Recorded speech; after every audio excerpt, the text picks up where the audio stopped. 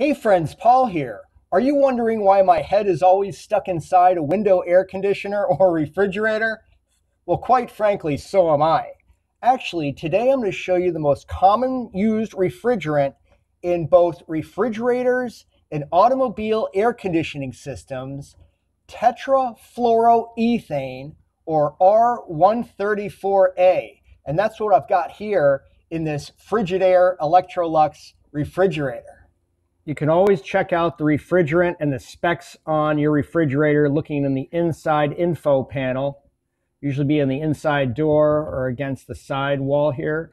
Refrigerant R134A, which is a hydrofluorocarbon. It's the successor to R12, which was a hydrochlorofluorocarbon that depleted the ozone layer.